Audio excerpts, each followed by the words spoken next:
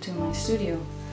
So I thought we'll mix things up a bit today and let's do something a bit different and maybe take it slowly. And what I would like to do is just draw a whole picture and walk you through the process. And you know, hopefully you'll find it interesting and take something from it um, to your work or just enjoy the art process. And I'm thinking that we'll start by drawing an ocean. I like to work with the gouache brush. And that's a Procreate brush.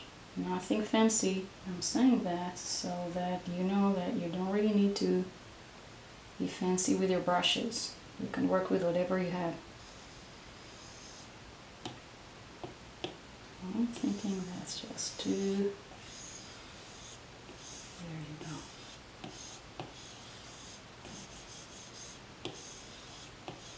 And you know what? I don't like it because over here the whole texture is blocked. So, you know what, let's undo it, double tap, double tap, chip, chip, chip, let's do it again.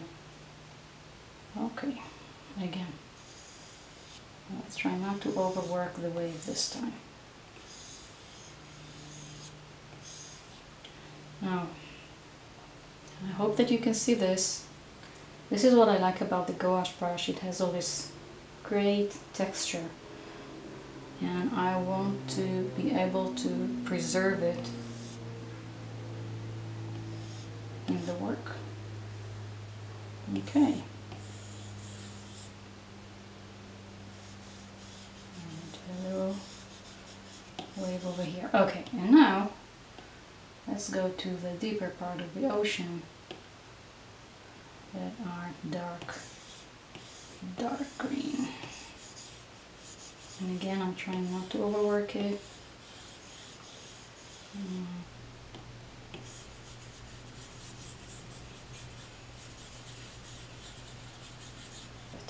Okay, we have the sea. And that's just two layers. Let's add another layer. And this time, we're gonna work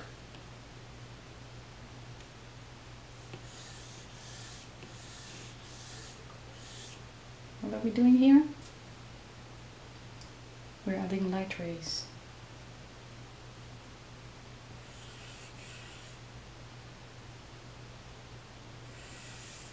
If I'm working lightly, I'm gonna have a more transparent brushstroke.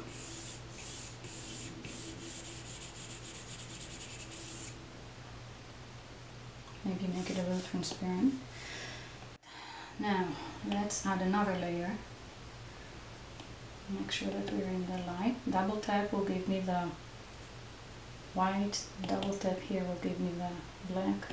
Again, I want the white. And I'm going to pick turpentine. We're not going to use a new layer. Um, we're going to use the seeded layer um, because what the turpentine brush does is this. Watch. You see? It picks up the color underneath and blends it. And I picked it because I like this beautiful texture and what I'm trying to achieve is the, the form of the, the foam that is being created by the waves.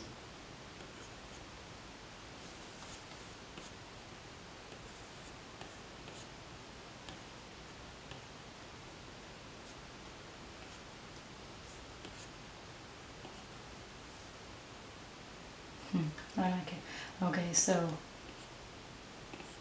what did I do? I lowered the opacity and I made the brush larger. See what it's doing? Okay, let's keep the seal it over here.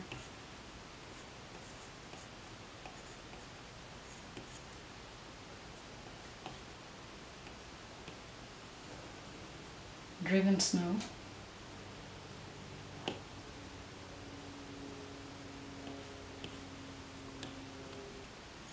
Water spray.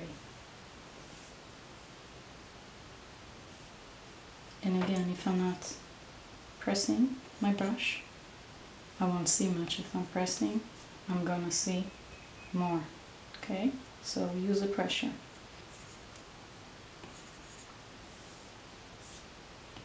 Okay, let's start drawing the jellyfish now. I want a new layer and I'm working with a round brush under the painting menu.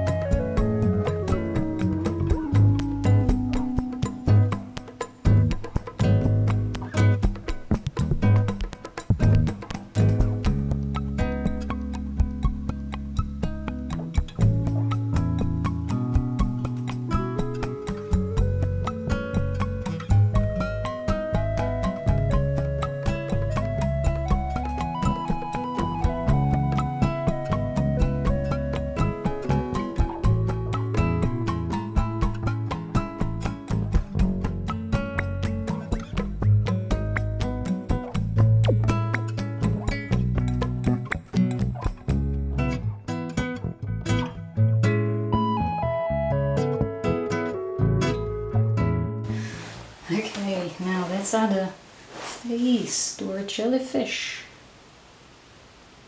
So we're adding a new layer. We're gonna place it inside the jellyfish group. And I'm working with calligraphy brush monoline.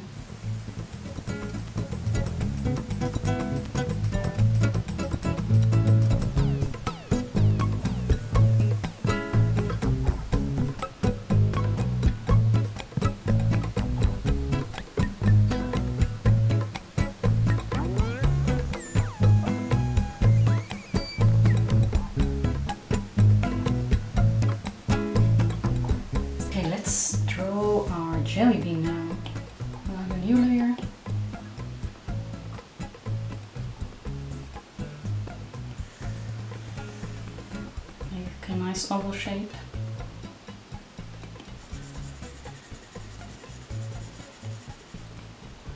We're gonna edit it, not in freeform but in warp.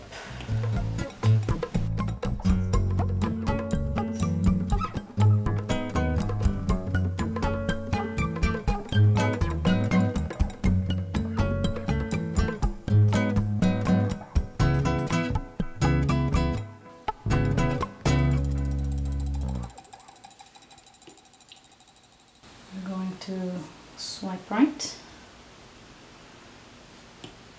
pick a noise brush. I'm using Bonobo chalk.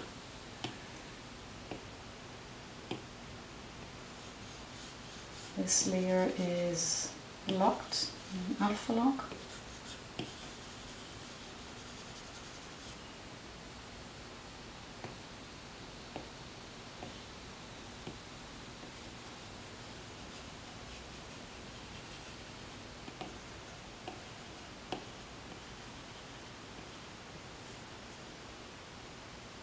There we go, we have the jelly bean.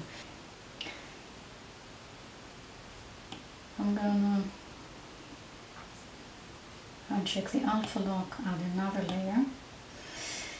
And I feel that this, that my jelly bean is a little foreign to everything else that's going on here. So I'm picking up my uh, gouache brush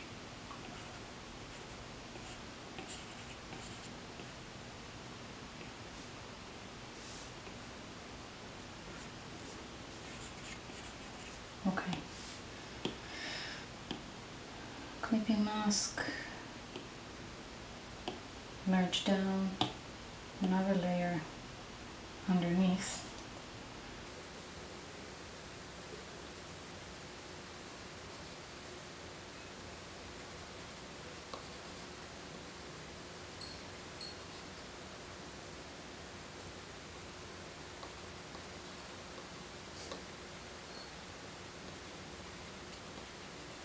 Okay, I'm working with both layers and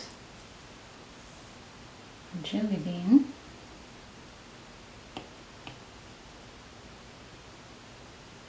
Turpentine.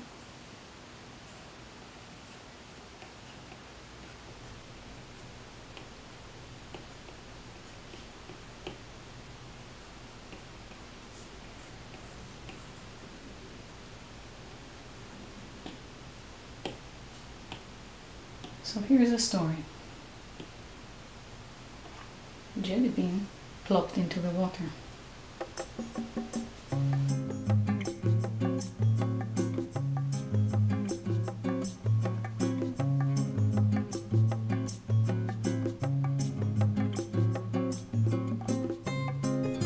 So the jellyfish sees the jelly bean dive into the water smiling because who doesn't like jelly beans? Of course, the jellyfish does. So we're gonna move him a little bit, wait. And while he moves,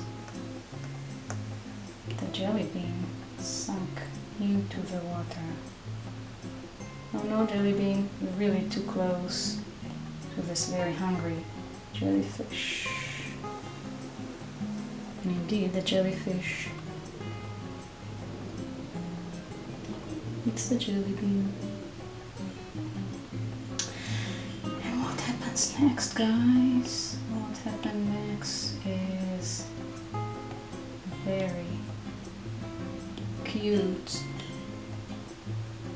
He's not scared anymore.